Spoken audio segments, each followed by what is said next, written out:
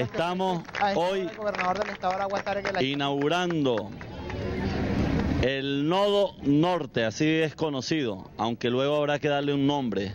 El nodo norte de la autopista regional del centro. Esta es una obra maravillosa.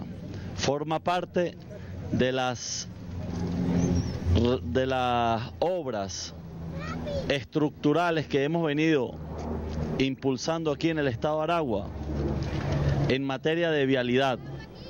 Quiero comenzar por felicitar y hacerle un reconocimiento público al mayor general Luis Mota Domínguez, presidente de Vías de Aragua, un gran compañero que también fue infamemente acusado por esta prensa, el cartel de la prensa internacional, los carteles de la prensa, acusado él de ser presuntamente o de vincularlo con presuntas mafias, cuando sabemos que es un hombre íntegro, con una trayectoria moral, con una conducta irreprochable, ha sido comandante general de la Guardia Nacional Bolivariana, entre otros altos cargos que ha ocupado.